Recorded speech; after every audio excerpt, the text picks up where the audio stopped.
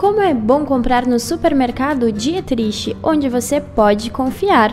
Produtos de qualidade e ótimos preços, carne fresca, pão quentinho e tudo que você e sua família precisam para comer bem, gastando pouco. Você encontra no supermercado Dietrich.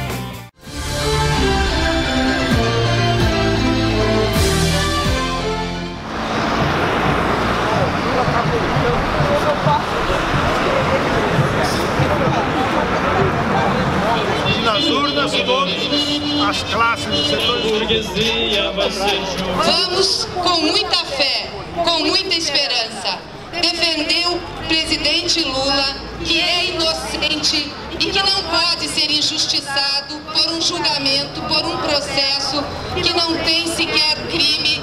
Defender o presidente Lula é defender o povo brasileiro, o povo mais pobre do Brasil, que deposita nele as suas esperanças. O povo gaúcho nunca faltou às lutas históricas do povo brasileiro. Lutamos em defesa do direito do gênero de uma posse com a campanha da legalidade em 61.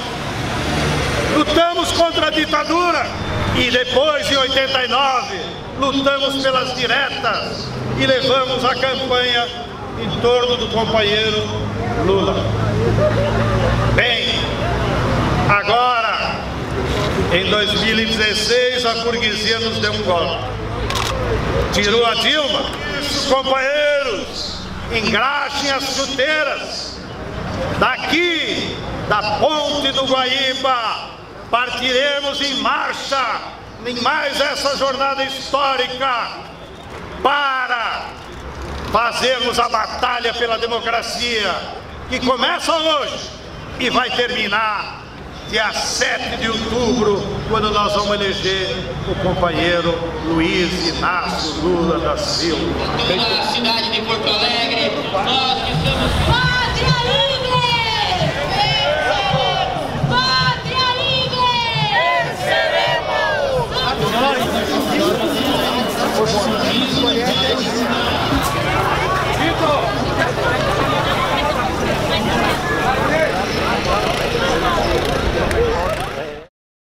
As delegações chegando aqui.